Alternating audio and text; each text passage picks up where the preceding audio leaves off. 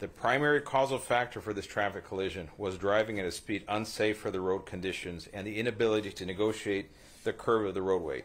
Estimated speeds at the first area of impact were 84 to 87 miles per hour, and the final estimated speed when the vehicle struck the tree was 75 miles per hour. There were no citations issued, and there are no signs of impairment.